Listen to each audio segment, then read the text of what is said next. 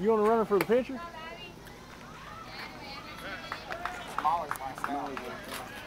I got you.